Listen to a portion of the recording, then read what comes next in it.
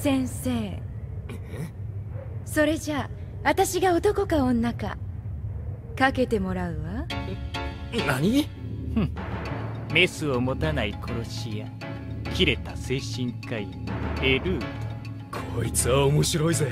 あの可愛い顔で何人もの患者を自殺に追い込んだ。懲役112年の大物だからな。あんな賭けってあるの？どう見たって Okay, what's the answer?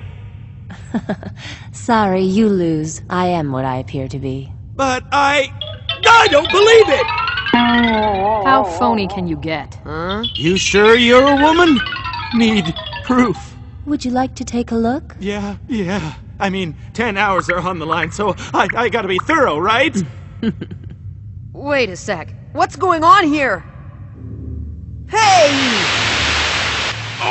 Oh the monitor went off! 急に何？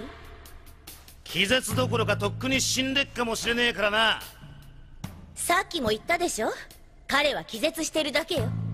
あれから何時間経ってると思ってるんだ？お前の言葉だけじゃ信用できねえな。それじゃあかけましょうか。賭け？賭けって何を？彼が生きているか死んでいるか Body! What was that? He might be dead already, and we just want to see it for ourselves. It's like I told you before. He's only unconscious. Yeah, well, how many hours do you think we've been here? You think we're just gonna take your word for it? Care to make a wager then? Wager? A wager on what? On whether he's dead or alive.